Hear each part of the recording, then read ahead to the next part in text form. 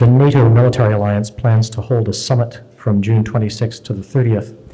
One question on their agenda is what should the NATO alliance do to address challenges such as China's growing influence and assertiveness? Uh, may I ask what the Chinese government's reaction is to that? 北约是冷战产物和美国主导下的全球最大军事联盟，是美国维护霸权、操控欧洲安全格局的工具，同时代发展潮流 背道而驰。北约声称自己是防御性组织。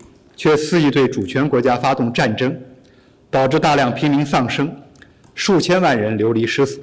北约明明是北大西洋军事组织，近年来却跑到亚太耀武扬威，试图把欧洲集团对抗的套路复制到亚太，此举十分危险，必将引发亚太国家和国际社会的高度警惕和坚决反对。